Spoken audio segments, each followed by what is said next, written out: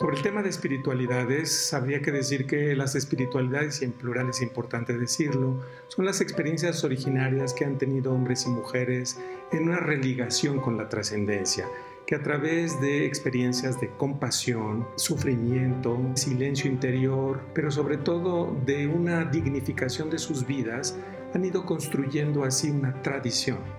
y es entonces cuando las espiritualidades como esta experiencia de religación de lo inmanente y lo trascendente, de lo propio y lo otro, se vuelve una fuente de vida. Y estas espiritualidades van así generando cultura.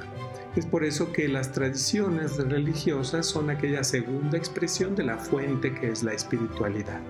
me parece relevante decirlo porque las religiones tienden con frecuencia a anquilosarse, es decir, a mantener como estructuras de autoridad y de control que no necesariamente representan y transmiten la experiencia original de las personas que fundaron esas tradiciones. Todos los pueblos han tenido maestros y maestras de sabiduría y tienen que ver con esta perspectiva de una sabiduría práctica que ayude a vivir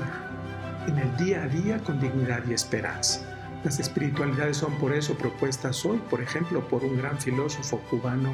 que vive en Alemania, Raúl Fornet Betancourt, como unas verdaderas eh, fuentes de filosofía, es decir, modos de conocimiento de la realidad que nos permiten habitar el mundo con dignidad, con justicia y con esperanza.